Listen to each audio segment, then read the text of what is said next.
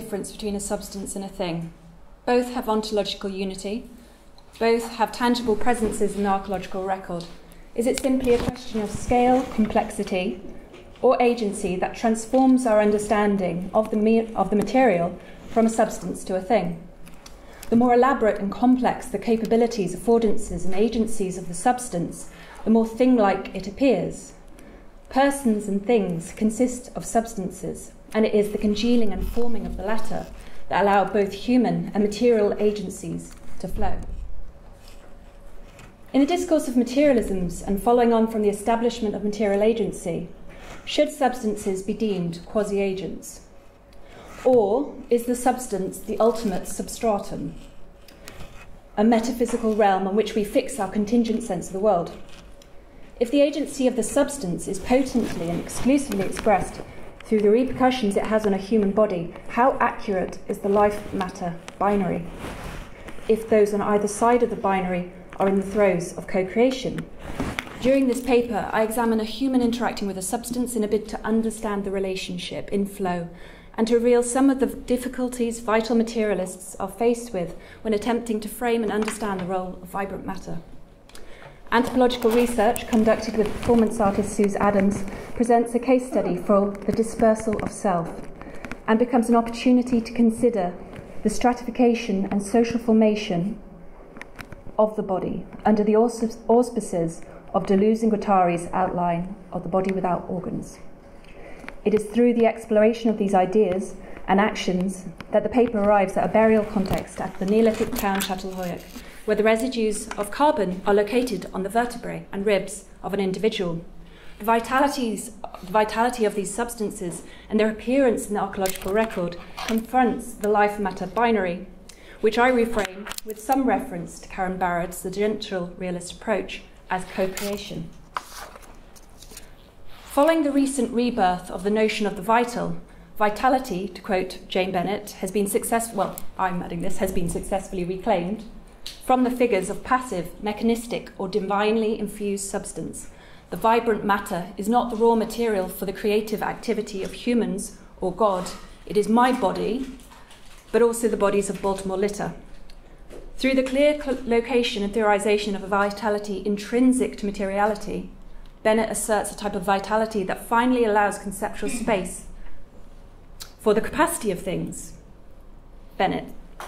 Ed- edibles, com- commodities, storms, metals, not only to impede or block the will and designs of humans, but also to act as quasi agents or forces with trajectories, propensities, or tendencies of their own. We need only take a brief jaunt through the realms of psychopharmacology to understand the dramatic effects that psychedelic substances can have on humans.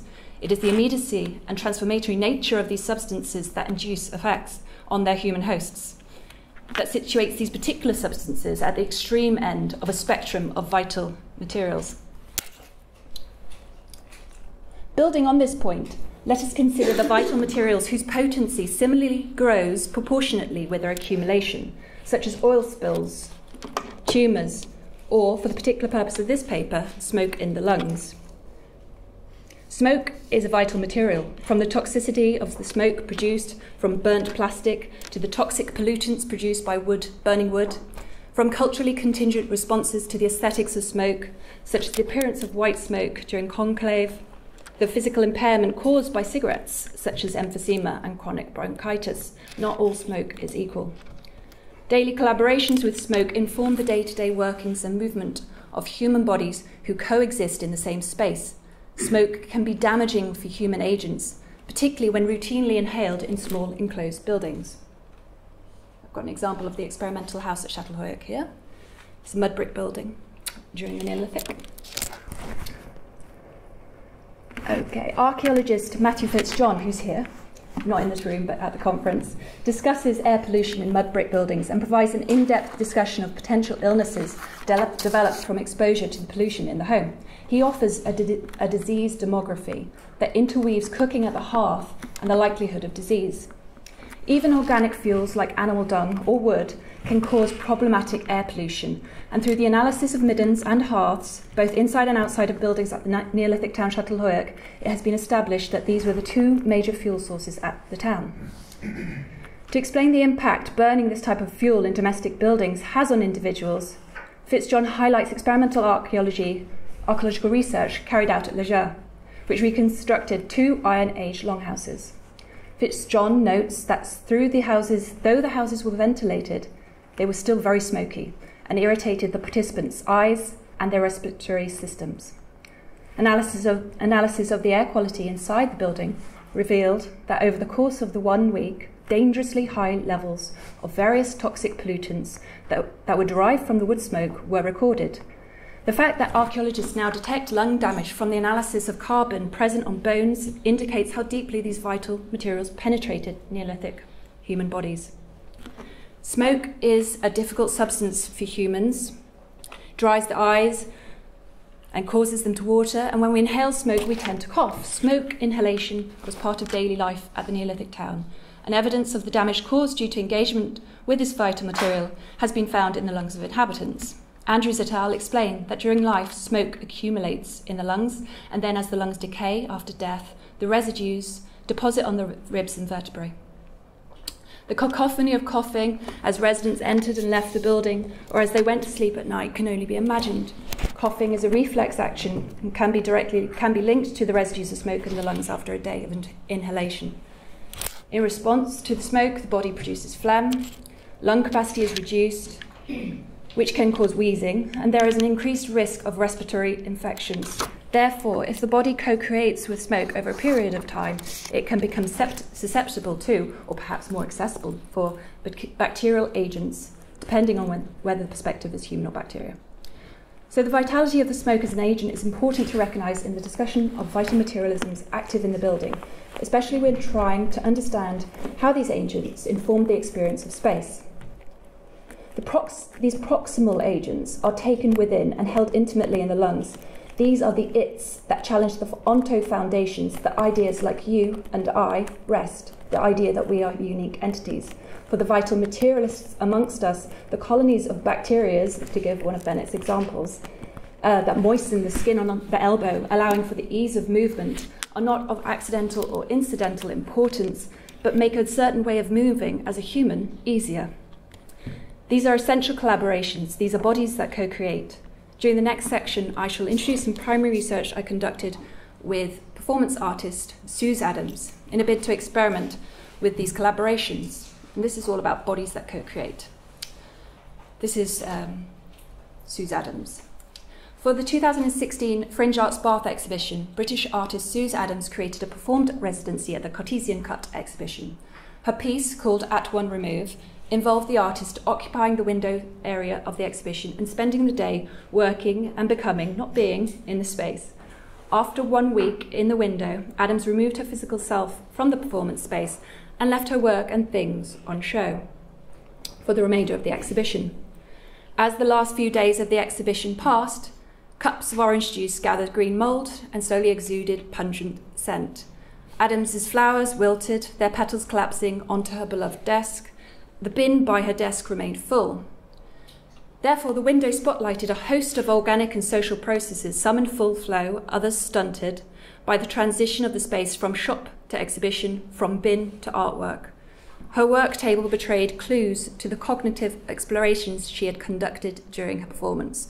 Olive stones and drawings of olive stones, quotes and crumbled up pieces of paper containing unwanted or redundant ideas metonymic devices such as a dental x ray and an envelope containing with highlighted words offered the audience access points to the artist's subject of inquiry.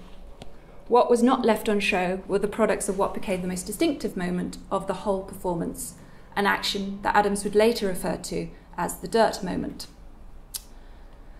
This was when Adams got onto her knees and rubbed two pieces of paper on the floor at the end of her occupation, and by doing so created abstract drawings co created by the artist and collective Dirt. Adams describes all the materials on show at the site of her performance as traces. These are her remnants and residues of her activities. She sees the assemblage of things as a dispersal of self, and the performance as capturing a body in transit. Adams describes the objects at her desk as appendages the artist perceives the chair, pencils, olive stones, and books as still attached to her being. Through her interaction with the dirt, Adams had created a further appendage, a portable device that had modifiable potential, a drawing. The transformation of substance to material reframed the dirt as thing and offered insight into a specific material trajectory. The transition brings into focus the notion of appendage vis a vis remnant or residue. The remnants and residues of Adams's activities in the window were, according to the artist, traces and not appendages. And these traces were an aggregate of collective matter. As aggregate, hmm. as not all the substances used in the dirt drawing were her own, but inevitably the residues of other proximal agents.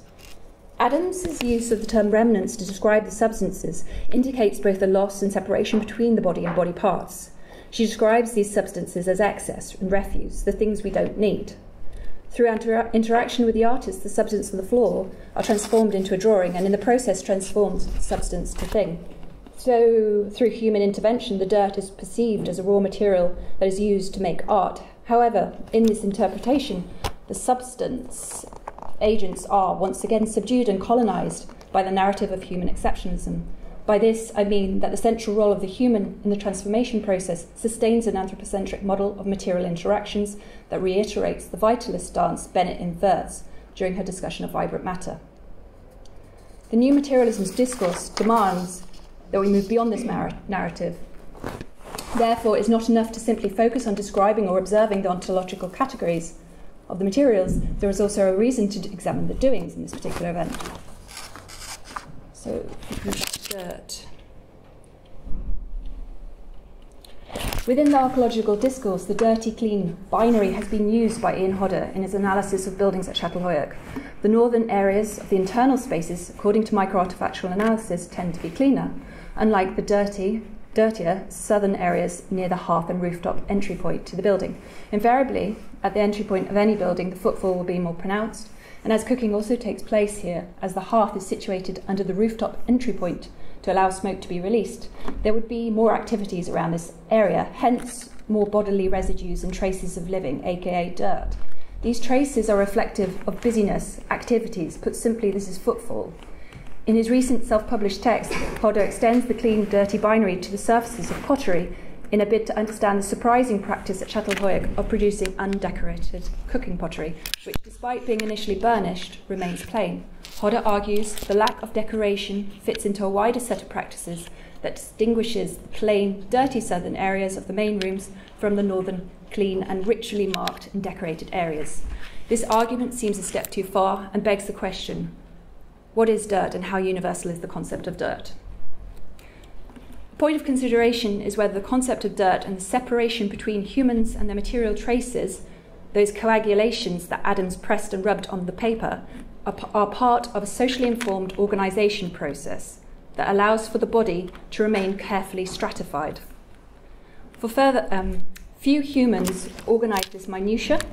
Thus, these residues are abandoned and shunned through the notion of dirt. Anthropologist Mary Douglas notes that Reflection on dirt involves reflection on order to disorder, being to non being, form to formlessness. Impurity and danger, she indicates that the notion of, notions of dirt are culturally configured, particularly when she observes that communities who have been influenced and shaped by 19th century advancements in bacteriology have an understanding of dirt that is dominated by the knowledge of pathogenic organisms. But we might also consider Deleuze and Guattari's work on the body without organs. Human skin is an organ in its own right, it renews and sheds like nails and hair, and these sedimentations are forfeited and lost to the earth, air, and so on. If we glanced at the window floor and examined the residues, are these the alluvions that Deleuze and Guattari speak of, deposits left by the flowing body? And are these alluvions part of the sedimentation process that allows the body to remain stratified? For by forming a blockage between the organism and its its, by classing the its as dirt, the body remains organized. I suspect these deposits are stratum. They are the accumulation and sedimentation of the body without organs. And reflecting on Adams's work, it seems reasonable to suggest that the window dirt was integral to the artwork due to the central role in the event. Its presence beckoned to the artist and caused action. These drawings could not exist without the coagulations of these sedimentations, these cap- their capabilities, marking paper, creating rhythms with human hand. I argue that from the perspective of vital materialists, during the context of the performance, the dirt could be considered a co creator. This notion is much easier to accept if we take on Karen Barad's agential realist position, which disputes the Cartesian cut and states that things as unique entities do not exist, as things are always in phenomena. Thus, the artist and collective matter in the context are in phenomena. Like the smoke in the lungs of the resident at Château Çatalhöyük, these vital materials are bodies that co create. to conclude, I argue we do not simply host these substances or form these substances, these vital materials, but co create with them. Thus, these proximal quasi agents that exist in polluted air become key agents, debilitating agents, when nestled in the lungs. They make us co creating, co producing, co constituting life matter. Equally, how separate are the remnants and residues of our bodily traces? Is their discrete status simply a byproduct of a, sim- of a social formation process that ensures the body remains whole and organised? The following quote from Bennett is at the heart of this paper. It is an, an oxymoronic truism that the human is not exclusively human, that we are made up of its. Within archaeology, how we tackle and take forward the life matter predicament is a new and exciting realm for theoretical archaeology with great potential for future archaeological interpretation. Deeming dirt in terms of a binary is no longer sufficient, deeming smoke an incidental byproduct no longer exact.